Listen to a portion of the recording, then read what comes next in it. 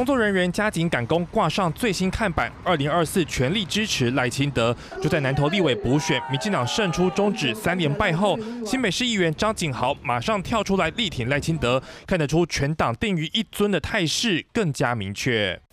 成功预测九合一大选结果的日本学者小笠原新信分析，这次补选对赖清德来说是极为重要的胜利。民进党扫除败选后的沉闷气氛，而国民党则是敲响警钟，不要沉醉在大胜的气氛里。对于二零二四大选，他认为开局还是五五波局势，戒慎恐惧，好步步为营。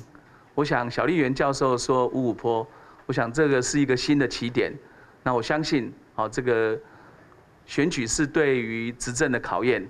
那我们也是抱着这样的心情，双方都是战战兢兢，呃，不能犯任何的错误，因为毕竟在这么激烈的选案当中，呃，有任何的错误就很可能影响最后的成败。蓝绿都不敢大意，毕竟民进党在逆风情况下，竟然攻下蓝营铁票仓。资深媒体人黄伟汉就分析，这场补选之所以重要，是因为赖清德把一个连党内都不相信会赢的地方赢了，而蓝营把没想过会输的地方输了。绿营是已经整军待发，但是蓝白的一个部分里面都还有待整合的一个部分。民进党在补选胜出后，全党定于一尊，反倒是国民党人选还没敲定。面对二零二四蓝绿，可都得谨慎面对。三立新闻李文胜、黄先生、尤尔博台报道。